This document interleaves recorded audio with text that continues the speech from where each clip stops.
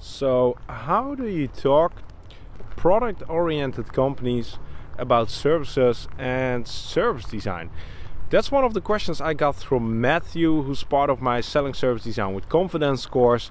And it's a great question as I've heard it a lot, and a lot of people seem to struggle to sort of convince product oriented companies, and it can be physical products or software products on the value of services and on the value of service design. So that's exactly what I want to address in this video. And the answer to this is of course it depends. How do you talk to a product oriented company or somebody who's um, has a really strong product oriented mindset? Well, um, I'm going to give you an example which works really well for me if I'm talking to somebody who's interested in the finances or the business uh, proposition of a product oriented company. Um, and uh, in that case, I talk about two things.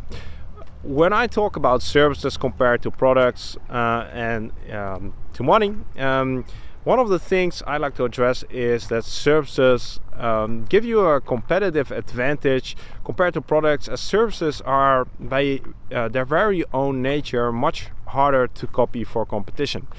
Uh, every service uh, requires some kind of human interaction or at least there's a much bigger human interaction part um, in a service than there is in a product. So that makes services much harder to copy for your competition.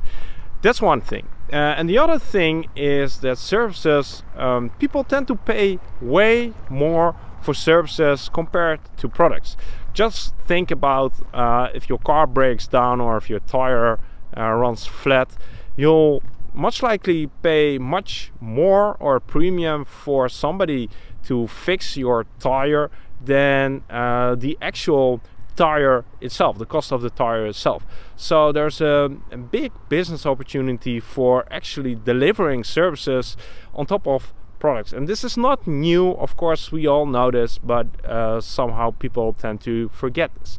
Um, yeah, so again, how do you talk to product oriented companies about services? It really depends on who you're talking to, but if you need to make a business case for service design, I'd say services help you to gain a competitive advantage as they are much harder to copy and um, customers tend to pay more for services so there's a great opportunity to make uh, a larger profit.